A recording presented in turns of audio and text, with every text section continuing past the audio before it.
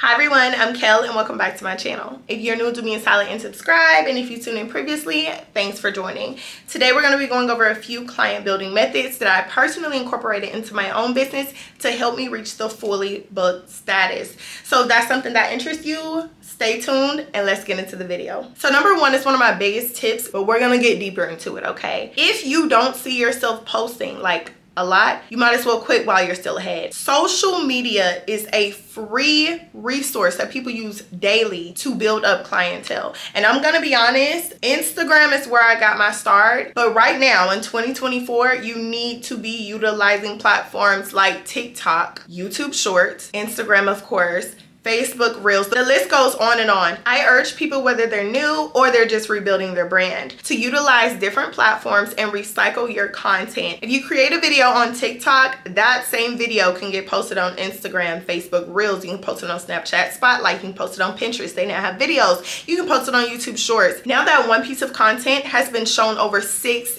different platforms, that's the bare minimum of work. If it doesn't go viral on one, it may go viral on another. It may not go viral on neither either, but at least someone's seen it. Another tip when posting, and I mentioned this on one of my previous videos, stop paying attention to the numbers. Somebody may get 3,000 likes, you may get 50. Again, if there were 50 people in the room with me right now, it'd be a party. Please don't pay attention to the numbers just as long as somebody's seen it be grateful if you're actually filming and putting out the content give yourself grace your time will come be I oftentimes hear people say, well, I don't have any clients to actually get content to post. Take models for free. Yes, emphasis on free or for a discounted price. I really push people, especially when you're new to take models or canvases for free because you're going to get in people way quicker. I took models for free almost five years ago when I started doing individuals as well as back last year before I started offering cluster lashes. And y'all, when I tell you, it makes all of the difference.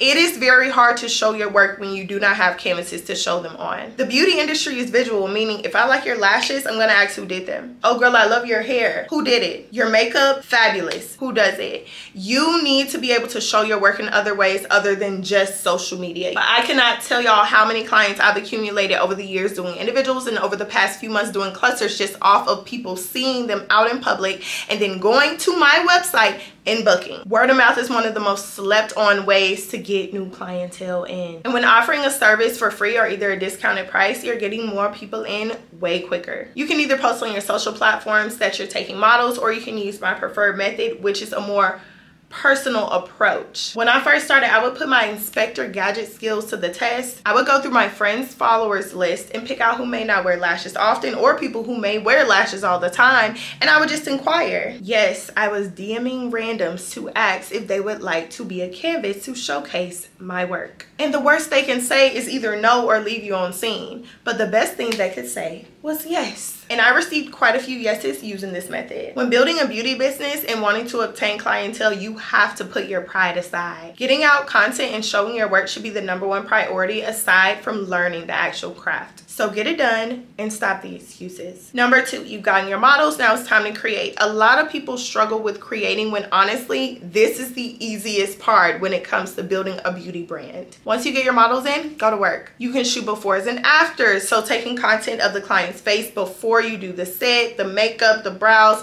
what have you, and then flip it, do an after. You can do the cute TikTok trendy videos. And my personal favorite, just a pan out of your client's face in different angles and just putting some music behind it. I used the app CapCut and it allowed you to take music or a sound from any video you like and paste it to the video. I typically match up the cuts to the music beats. But CapCut also has a feature to where they'll do it for you. Make sure when you're filming you're using the proper lighting setup and always, always, always wipe your lens with a paper towel and some Windex, lens cleaning wipes, just make sure your lens is wiped. If your model isn't as comfortable about their blemishes or dark spots, you can use apps like TikTok, the blur feature, or even Facetune to blur everything out. Now you've shot your model and you've edited your video, let's talk about how to properly post. When posting on any of these platforms, make sure you're utilizing the proper hashtags. And yes, hashtags are so 2017, but they work. Utilize your location as an advantage. So you not only want to hashtag your location in the service that you provide, but also surrounding cities, towns, colleges, etc. This is going to help you reach a larger audience base on the platforms. So let's say you offer lashes here in Atlanta.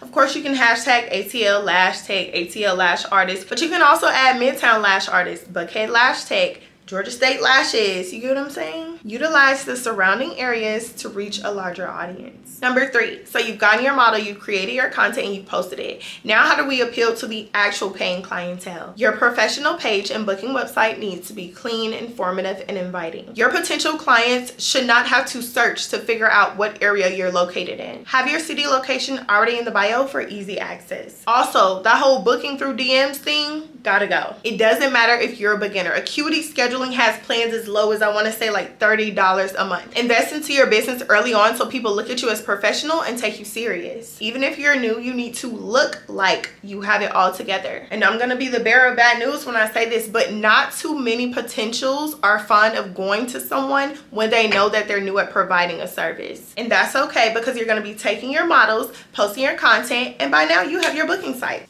Y'all ain't tell, oh, y'all wrong. Oh, y'all are wrong for not telling me I had this white ring around my lip.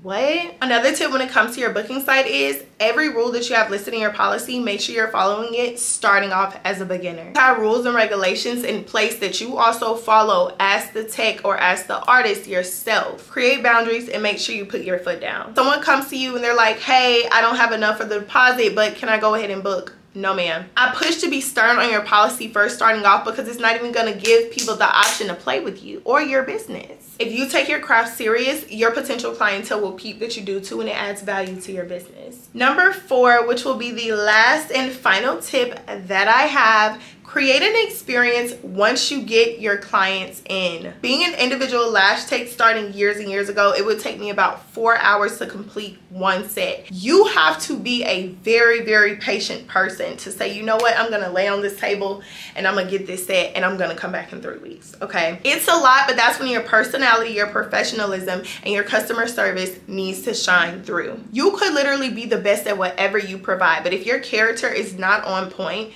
people peep. And from the time that that potential client walks through your door, you're on center stage. Show that you're a professional and you know exactly what you're doing. Confirm the service that the client booked. I can't tell y'all how many times people have come in and they booked for a mega volume and they're like, oh, I love a good natural set. I like a natural look. Like I just want it to be less dramatic. Listen to what the clients are saying because a lot of times they don't know what they want. If you're providing a service that offers feels to where the client is gonna have to come back, speak on the importance of maintaining while you're doing the set. Towards the ending of the service, talk about aftercare so they can maintenance at home. And just make sure that you're being friendly and inviting so that that client feels comfortable. More people than you know suffer with social anxiety. So making people feel right at home is super important when you're a service provider. Lastly, make sure the service lives up to the standard that you set from the time you posted the content. Remember that first impressions are lasting impressions. And if you get it right the first time, you may just have a lifelong client. I hope you found this information super helpful. All lash courses will be linked down in the description box as well as my vlogging channel.